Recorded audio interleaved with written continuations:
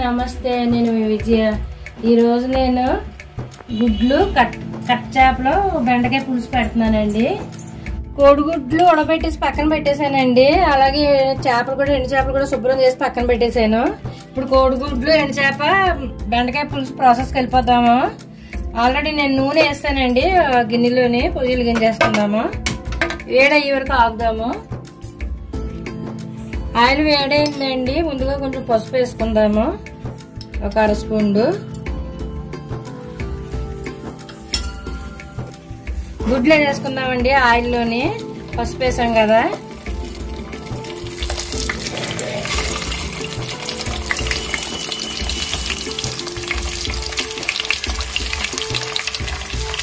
పసుపు వేసుకోవడం వల్ల మంచి రంగు వస్తాయండి గుడ్లు ఏగి. వేసిన అన్నీ ఇలా కలిపేసుకుంటే అంటుకోవాలి గుడ్లు ఇలా కలిపేసుకోవాలి? ఏగి వరకు ఆపుదాము. ఏగిపోయినాయండి తీసేద్దాం సిమ్లో పెట్టుకుందాము. ప్లేట్లో తీసేసుకుందాము.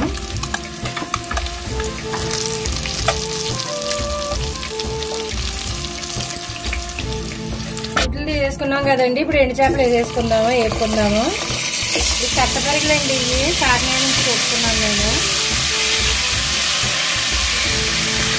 స్పీడ్లో స్పీడ్లో ఎట్టి వేపిస్తున్నామండి స్లోలో పెట్టి వేపుకుంటే ఇడిపోతాయి చేప. నేను స్పీడ్లో పెట్టేసుకున్నాము వేగి వరకు ఆపుదాము. ఎండు చేపలు కూడా ఎగిపోయినాయండి. తీసేద్దాము. ఆ పక్క తీసేసుకుందాము.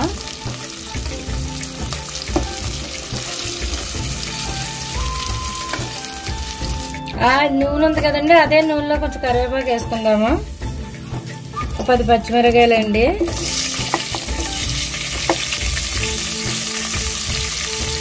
ఉల్లిపాయలు. ఉల్లిపాయలు ఎక్కువ వేస్తానండి నేను పులుసుకి ఎక్కువ వేసి పడతాయి. ఉల్లిపాయలు వేసుకున్నాం కదండి సిమ్లో పెట్టుకుని బాగా ఎరగా ఏం చేసుకోవాలి? కొంచెం ఉప్పు వేసుకుందామండి ఉల్లిపాయ బేగా ఆగటానికి.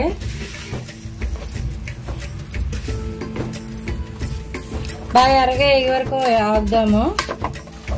ఏగినాయండి ఉల్లిపాయలు ఇప్పుడు టమాటాలు వేసుకుందాము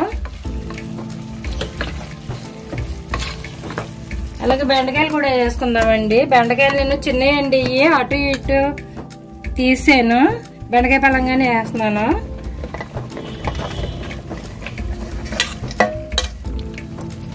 స్పీడ్ పెట్టుకుందామండి. ఐదు నిమిషాలు మగ్గించుకుందాము.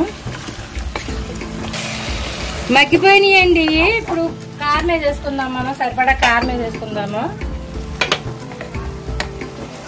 కారం ఒక పెద్ద స్పూన్ అండి కారం కారం వేస్తామండి. కలిపేసుకుందాము? కొంచెం ఉప్పు కూడా వేసుకుందాము? ఇందాక కొంచెమే కదా మనం వేసుకున్నాం ఉప్పు ఉప్పు కూడా వేసుకుందాము?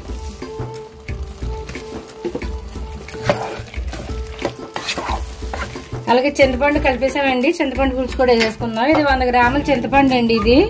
చక్కగా పులుసు పీసుకేసి ఉంచేసాను నేను. వేసుకుందాము.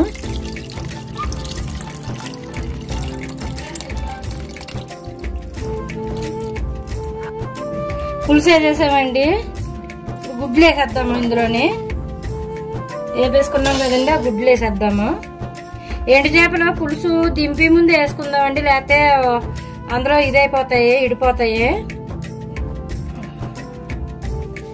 వేసేసామండి గుడ్లు? ఒక పది నిమిషాలు మరిగించుకుందామండి ఈ పులుసుని. అప్పుడు వేసుకుందాం చేపలు మనం. మూతెట్టేద్దామండి మరిగే వరకు మూతెట్టేద్దాము చూద్దామండి పులుసు ఎంతవరకు వచ్చిందా. ఇలా మరుగుతుంది కదండి చిక్కబడింది పులుసు కొంచెం.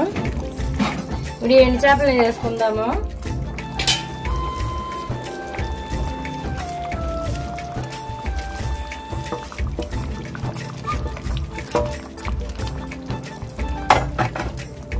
ఎండు చేపలు వేసాం కదండి. ఒకసేపు ఒక ఐదు నిమిషాలు మరగనిద్దాం. ఎందుకంటే ఈ ఎండు చేప అంతా అందులో బాగా ఊరు బాగుంటుంది.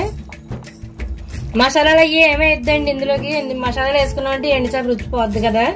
అందు గురించి ఊరినే పెట్టుకోవాలి ఇలాగా. ఐదు నిమిషాలు మరగనిద్దామండి. మూత చేద్దాము చూద్దామండి ఎంతవరకు వచ్చిందో. దగ్గరికి అయిపోయిందండి. కొంచెం కొత్తిమీర వేసేసుకుందాము. స్టవ్ ఆఫ్ చేసేద్దామండి గుడ్లు బెండకాయ ఎండుచేప పులుసు రెడీ అయిపోయిందండి. మీకు కనుక నచ్చితే మీ ఇంట్లో ట్రై చేసి ఎలా ఉందో నా కామెంట్ రూపంలో తెలియపరచండి. అలాగే మన ఛానల్ని సబ్స్క్రైబ్ చేయండి ప్లీజ్. షేర్ చేయండి లైక్ చేయండి. ఉంటానండి నమస్తే.